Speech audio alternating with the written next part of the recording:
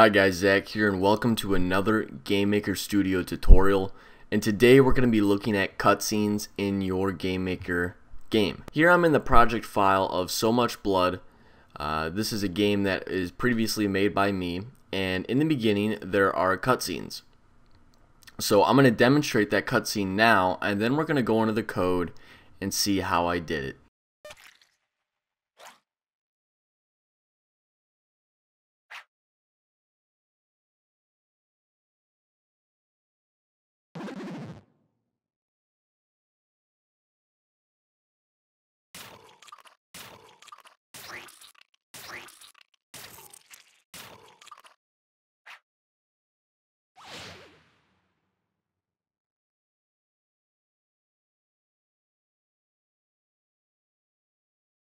Alright, so that was a pretty basic cutscene, and we're going to get into the details on that right now. So here I am in Paint, and I'm just going to kind of demonstrate and go step by step on what we're actually seeing here.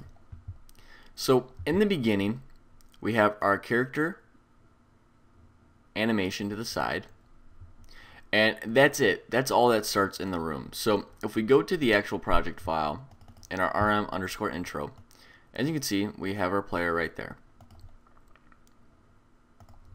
What we're doing is we're cutting this object up into stages.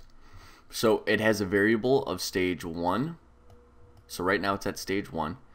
It comes, it shoots into the screen, about the middle here. Then it goes right when it when it goes to where we want it to go, it immediately goes to stage 2. This tells uh, the the object two things. For one, it tells the object to stop right there, and it changes the animation to um, just the bobbing up and down animation. And then we set an alarm on it, and when the alarm goes off, we shift the, the object down, but before we do that, it goes into stage 3. So stage 3 hits, it shifts the object down. Stage 3 again, it, for one, shoots the player down, or the uh, object, and it changes its animation to the scared look. And when we're doing that, when it turns to stage 3, we then create our antagonist, bad guy, object that shoots up to the screen here. Which is stage one for him. And then uh, when it gets here, it comes down a little bit into stage two. And it changes animation as well. And then all we're doing is in our um, antagonist object, we just set an alarm for one, two, three, four, five, six. So these are the six objects that it shows which are the future bosses in the game just by using a particle system and uh, in the code of the objects just bobbing them up and down. Pretty simple stuff right there. And then so another alarm is hit and when that alarm is hit uh, our main object uh, that was right here shoots down again putting it into stage 4 and this antagonist object shoots into uh, I believe stage 3 which means it just expands. And covers up the screen black. And then it actually transitions into our first level of the game which is going to be our basic zone so a lot to undertake here, but if you can understand that when you're doing a cutscene, I like to put a variable of stages into my uh, cutscene objects, knowing where we're at in the cutscene. So if we go into the actual code here, we can see what I'm actually talking about. So here's our intro object. And in the create event, we have stage equals zero. Alpha equals 0, image speed equals 0.1, and then we just play uh, a sound shot move. And we're playing the sound right away because since stage equals 0 in the step event, if stage equals 0, we're using a tweening algorithm to shoot that player directly into the center of the screen.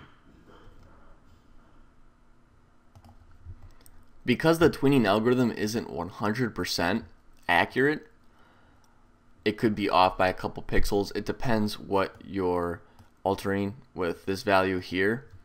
Uh, what I do is I check if x is less than or equal to view underscore w view divided by 2 plus 1. So again, it's not going to be 100% exact. Then our stage equals 1, which I was talking about when it... Okay, so I guess I just mix it up. So uh, it would start off at 0, not 1. And then so it would go to stage 1, 2, 3. So it starts off stage 0, it flies in, it goes to stage 1 immediately. And then you'll notice we set an alarm, and this is how long we're going to wait. And in alarm 0, we set stage to equal 2. We set up a new sprite index, and then we create our boss, our intro boss. So if we go into our intro boss here, again, it's pretty much the same thing. We have um, just uh, initializing the particle system that we need. We have alpha, we have stage, we have animation. So you'll notice in the beginning of that cutscene, the boss doesn't animate until he gets all the way up. We initially set an alarm 0 to equal room speed uh, multiplied by 5 and spawn equals 0 that's just for spawning so then in the step event we have the same thing here if stage equals 0 then our y plus equals you know wherever we want it to go and then if stage equals 0 and y is less than view underscore h view, you know, minus 69, then stage equals 1. Now we don't set an alarm 0 because we originally set an alarm 0 in the create event. So, and this alarm 0 is when we start spawning things. And so we just say if spawn equals 0, you know, then create the basic intro, if spawn equals 1, etc. And then we just check if spawn equals 8, stage equals 3, and we set a new alarm, or else let's continue to go through alarm zero and create all of the objects that we need. So we hit stage equals 1, when stage equals 1, this is just our bobbing up and down. Then y goes here, and then if y equals this, then stage equals 2, and if stage equals 2, then we're going to start animating our uh, object, our sprite. And then when stage equals 3, then we expand it completely. And here you see if anim, anim equals true, then we just set the image speed equal 1. If image index is greater than equal to 4, and animation equals false, and the sprite index equals a boss intro. So we want him to open his eyes, and then we don't want him to keep opening his eyes. So then that's when we just switch it and keep animating it, though. Alright. Draw event, pretty simple stuff. Uh, the only reason we put that alpha in there is because when the and it, the boss comes into the room, the background shifts to like a darker color. So if we go back into our intro, we let that boss do its thing, you know, all that it needs to do. And when that boss gets created by alarm 0, stage equals 2, and in the step event, if stage equals 2, if image index is greater than equal to 3 and sprite index equals S player animation intro, image index equals 0, and we start doing our S player sad intro, which uh, turns the sprite from, you know, looking happy and yeah, it's, you know, it's colorful, well, not really colorful, but it's bright, uh, to, oh no, what, what, what is this, what's going on here? So then alarm 1 equals uh, room speed time, times 11, so we let we let the boss object do its thing, and then we turn to stage equal 3, and then stage 3 just drops the player down, just like we demonstrated here. So instead of stage 4, it's stage 3. I'm sorry, I got that mixed up. Then it just drops it down, And then at stage three, at that point, the boss expands and we're golden. So, um, just something I want to just look at here. Uh, you know, we have our other objects like our Olava intro and all that. Basically, when I just did that, I parented it off of this guy, which just bobs these these boss objects up and down. So pretty simple stuff.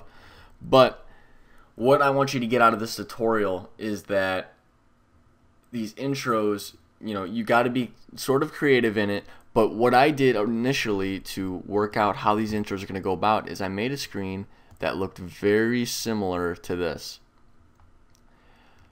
Plan out your intro, stage it out correctly, um, you know, zero, this is zero, this is one, this is two, this is three. You can do anything you want in an intro, whether it be dialogue, it doesn't matter.